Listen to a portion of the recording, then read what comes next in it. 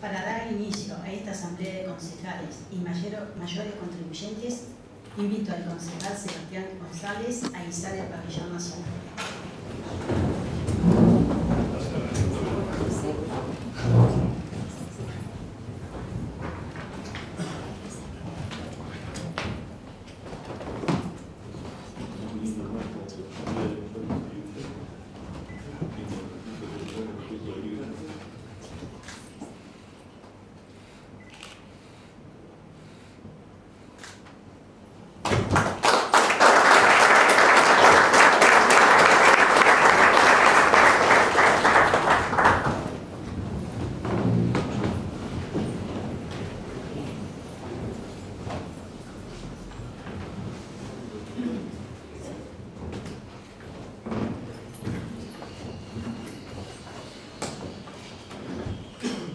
Estamos aquí reunidos para cumplir con lo que establece la Constitución de la Provincia de Buenos Aires, y la Ley Orgánica de las Municipalidades.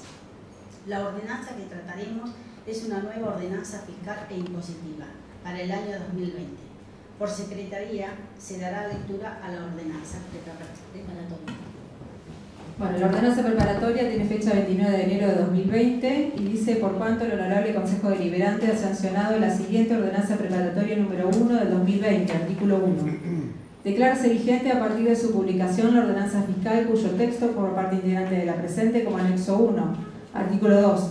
Póngase en vigencia a partir de su publicación la ordenanza impositiva cuyo texto forma parte integrante de esta ordenanza como anexo 2. Y como artículo 3, si bien no está expresado en el proyecto, se va a derogar la ordenanza fiscal impositiva en vigencia 2527 del 2018. El, el artículo 4 sería el de forma. Ya se han elevado los anexos 1 y 2 que forman parte de esta ordenanza. A continuación, se procederá al tratamiento de la ordenanza. Esta ordenanza pasará por dos discusiones, la primera en general y la segunda en particular de acuerdo a lo dispuesto en el reglamento interno en su artículo 59. Tiene la palabra para referirse al tema. Tiene la palabra el señor Tarelli. Gracias, señora presidenta. Eh, debido a lo extensa de esta ordenanza fiscal que va a salir votada hoy, eh, voy a solicitar que no se trate artículo por artículo el proyecto de ordenanza y sus anexos, sino que se vote en general, dado que son muchos los artículos, y anexos eh, y cada miembro de esta asamblea tiene copia del mismo desde hace varios días. Por lo que no mediante moción contraria voy a solicitar que no se vote en particular, sino solo en general. Gracias. Pongo a votación la moción del concejal Tarelli para la votación en general. Por la afirmativa. Está aprobada la moción del concejal Tarelli para que la votación se haga en general de la ordenanza completa con sus dos anexos. Pongo a votación la ordenanza preparatoria número 1 del 2020 y sus anexos 1 y 2. Ah. Tiene la palabra el concejal Tarelli. Gracias, señor presidente. Eh, bueno, eh, ahora sí pasamos a la ordenanza en general. Eh, en primera medida quisiera agradecer eh, la gran cantidad de mayores contribuyentes que están hoy aquí presentes, que es necesario el voto de ellos para que salga aprobada.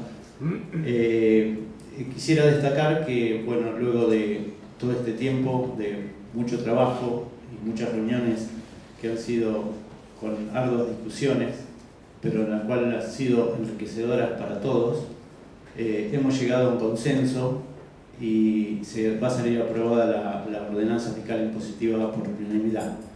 Eh, creemos que desde Junto por el Cambio que estamos eh, aprobando una fiscal impositiva con muchas modificaciones eh, para el bien de la comunidad de Capitán Sarmiento.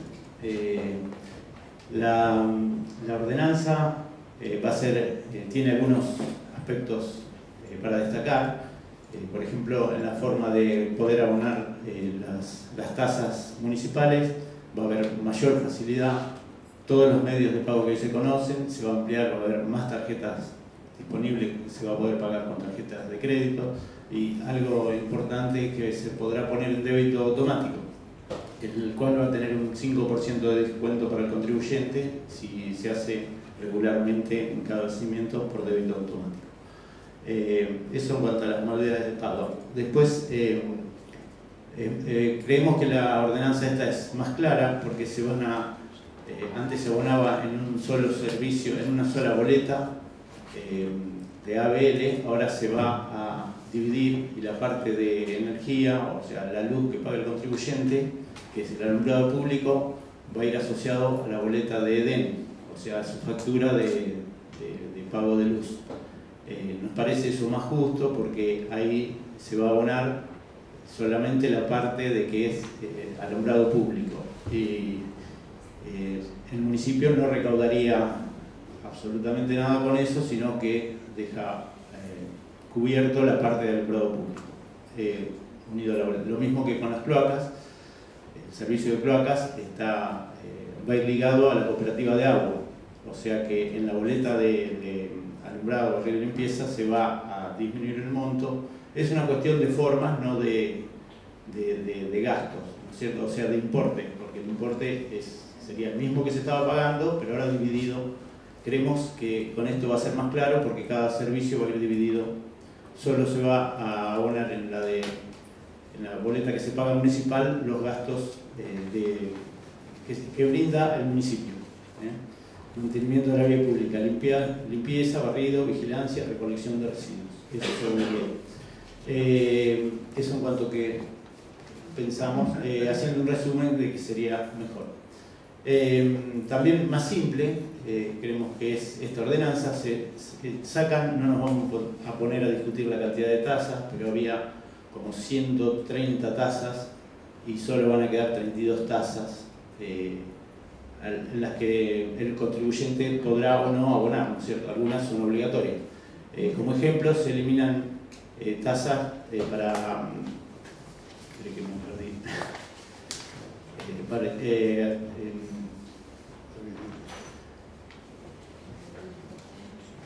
sí, para habilitación de comercios, para, para cuando se, para tasa de construcción, se elimina sin la habilitación de comercio es necesaria la inscripción para, para el comercio y luego empezaría a pagar eh, su, eh, seguridad de higiene. Eh, el pago de seguridad y higiene va a ir asociado al, monto del monotributo cuando son importes chicos. se empezarían a pagar luego de que el comercio ya esté funcionando. lo mismo para quienes hay beneficios para quienes instalen nuevos comercios en cuanto a si toman empleados, habría descuentos importantes al principio y no pagarían ningún, eh, importe cuando comienza a funcionar el comercio. Eh, en construcción lo mismo.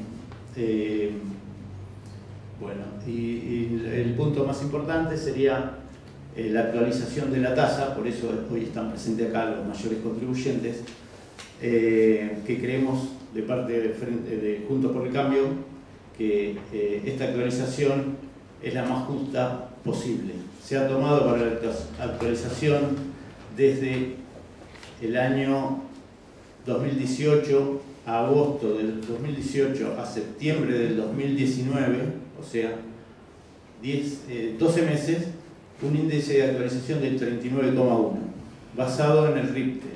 El RIPTE es el ajuste, el aumento salarial promedio que hubo a nivel nacional.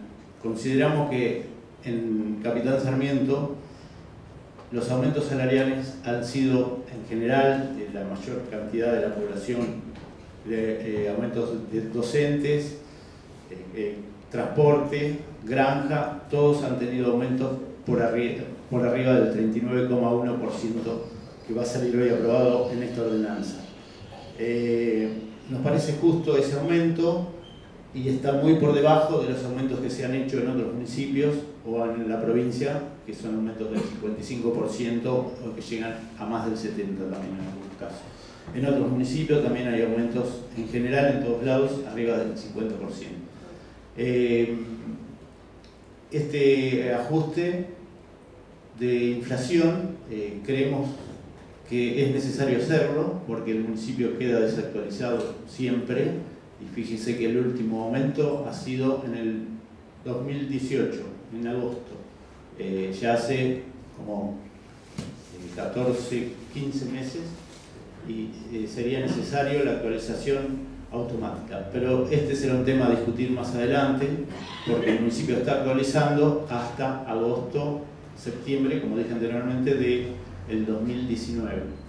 Quedaría por actualizar octubre, noviembre y diciembre del 2019 y luego la idea de Juntos por el Cambio es que no se desactualice nuestro municipio, porque si bien es cierto que los vecinos eh, cuesta hoy abonar las tasas y los impuestos municipales, provinciales, nacionales, pero también es cierto que el municipio, si queda con un atraso como quedó ahora de un año y medio prácticamente, eh, no se pueden cubrir los costos de mantenimiento.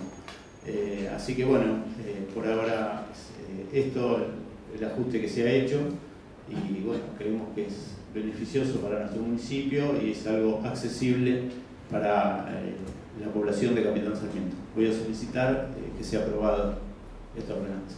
Gracias, señora presidenta. La ordenanza preparatoria número 1 del 2020 y sus anexos 1 y 2. Bueno, voy a empezar a nombrar los mayores contribuyentes. Les solicito que me contesten diciendo por la afirmativa o la negativa. Arriaga Julio. Por la negativa. Badano Gustavo. Por la afirmativa. Cañete Juan José. Por la afirmativa. De la Valle Perla. Por la negativa. Díaz Ramón. Por la afirmativa. Gardiner Cintia. Por la afirmativa. Malvaso Palmira. Por la afirmativa. Ostoich Germán. Negativa. Sambujac Cristian. Por la afirmativa. Santa Marina Gloria. Por la afirmativa. Bueno, he terminado de votar los mayores contribuyentes. Estoy anotando siete votos por la afirmativa y dos por la, tres por la negativa.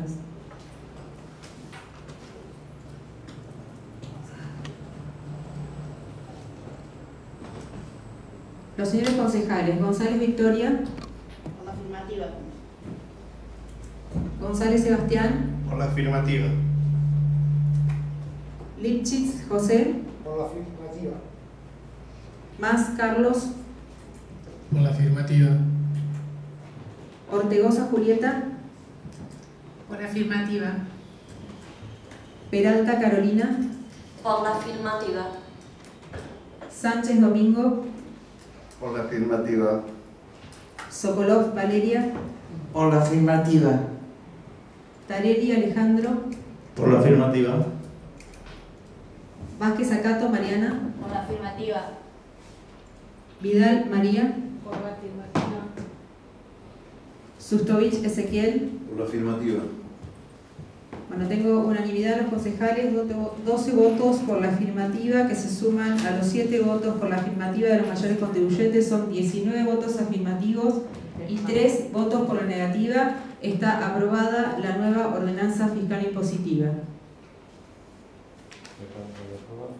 Se va a comunicar al Departamento Ejecutivo. Corresponde en este momento designar un concejal y un mayor contribuyente para la firma del acta de la Asamblea. Tiene la palabra la concejal Peralta. Gracias, señora Presidente. Bueno, voy a pedir que el concejal Sustovich y el señor Badano, como mayor contribuyente, eh, firmen el acta del día de hoy de la fiscal impositiva. Gracias.